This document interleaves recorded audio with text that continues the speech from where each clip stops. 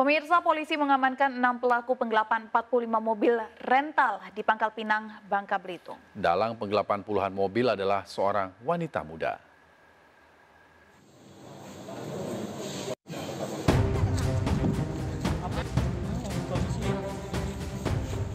Empat puluh lima mobil sewaan berbagai jenis terparkir di halaman Mapolda Bangka Belitung.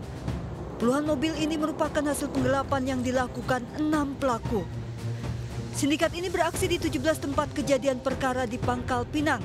Modus yang digunakan pelaku dengan menggadaikan mobil sewaan yang dilakukannya sejak April hingga Mei. Ada yang langsung penggelapan, ada yang sebagai supir, ada juga yang sebagai pencari gadai, ya, dan juga menawarkan pada para penerima. Ironisnya dua dari enam pelaku merupakan wanita muda dan salah satunya berperan sebagai dalang penggelapan. Ia pernah mendekap karena kasus penggelapan kosmetik. Satu unit itu ada yang 10 juta, ada yang 6 juta, ada yang 8 juta, Yang paling rendah berapa? ada 5 juta, 5 juta. ada Yang paling 4 tinggi? juta, 10. 10 juta. Nah, pernah di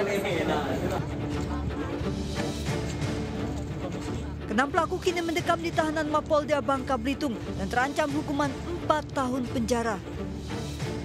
Dari Pangkal Pinang, Bangka Belitung, Haryanto, iNews melaporkan.